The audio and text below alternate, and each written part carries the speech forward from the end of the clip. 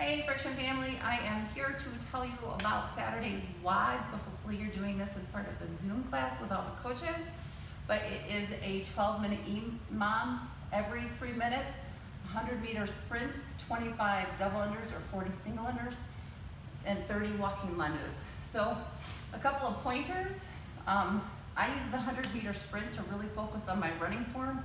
It's short and dirty, so, so use it to the best of your ability, whether it's leaning into the proper pose method for your run or it's uh, keeping your arms straight as you move the arms through your run or maybe it's not hitting the pavement or wherever you're running with a, a pound but more of a slide pass through as you push off.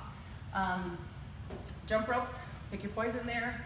And as far as the walking lunges, I found it very helpful to uh, step into the next lunge, making sure that first I became, I got all the way upright before passing through and going into the next lunge uh, to do all 30 and just get them done with. I had well over, well over a minute to uh, rest before I went into the next cycle. So um, it's a good one and uh, go kill it.